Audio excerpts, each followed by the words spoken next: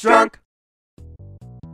Not everyone is into sports games, and that's understandable. Some folks would rather just go play sports themselves instead of a video game, but I still think it's silly to lump all sports games together as the same thing for people to dismiss entirely. I've played a ton of 16 bit sports games over the years, both good and bad, and I can appreciate that from a development standpoint, they represent a unique challenge. Like, if you're making a baseball game, there's so many things you need to get right between pitching, hitting, fielding, pace of play. It's really tough to get the balance right, not just if you're Depeche Mode. Even big time studios like EA and Visual Concepts didn't always get it right, just look at MLBPA Baseball. It's an okay game, it's got a player's license, but it still just doesn't feel or play like a top notch baseball game. I say all that as a qualifier for this game, Olympic Summer Games made by Black Pearl and Tiertex, released in June 1996 for the Super Nintendo, Game Boy, Genesis, PlayStation, 3DO, and I can only imagine how difficult it is to put together a game like this. There's 10 different Olympic events to play through in this game, and they range from okayish at best to just downright silly. There's the 100 meter sprint, 110 meter hurdles, pole vault, high jump, long jump, triple jump, javelin throw, discus throw, archery, and skeet shooting, and they all come together in this game as 10 separate mini games with their own feel, their own controls for the most part, and their own physics. And some of them work just fine, and some of them do not. The sprinting events have you mash A and B and you press up on the D-pad to lean over the finish line, basically the same thing as the track and field games on NES. Pretty dull.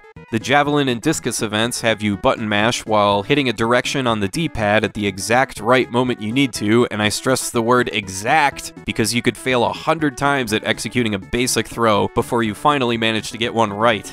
Pole vault, triple jump, long jump, and high jump events are similar, more button mashing and D-pad timing, only for whatever reason in these events the timing is a lot more forgiving. The pole vault in particular is actually pretty decent. You press down at the right time to set the pole, then quickly press up to get off the ground, and then right to push yourself over the bar.